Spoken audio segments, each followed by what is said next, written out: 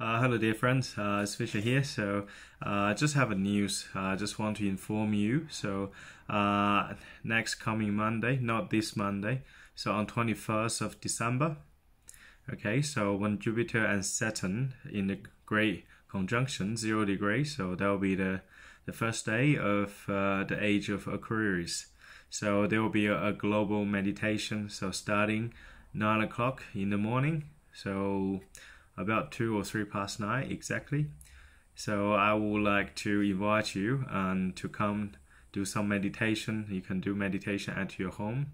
So for this great event, every 25,920 years, so there'll be a new age.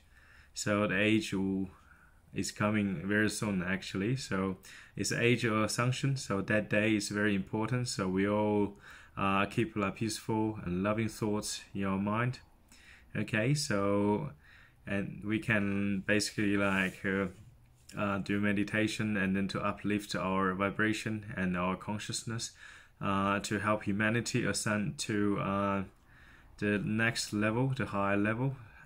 Okay so i'll see you there in spirit on 21st of december uh, 9 o'clock in the morning.